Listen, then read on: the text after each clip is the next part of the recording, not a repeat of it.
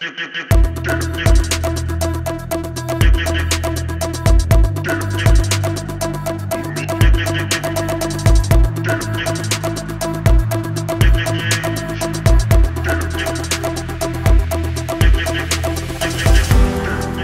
headlights, daytime running lights. People call them different things. What are they actually used for? Is it a sales gimmick? We're gonna go over all that in this video. If you like the video, make sure to click like, and if you wanna watch more of the 2022 Kawasaki Ultra 310LX or our adventures, make sure to subscribe so you don't miss anything. For the light system, you don't even have to start the ski. All you have to do is stick the key in and they illuminate.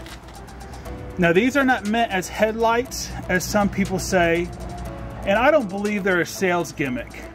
They are for safety, so it's easier to be seen like Yamaha's spout or other safety features out on the water.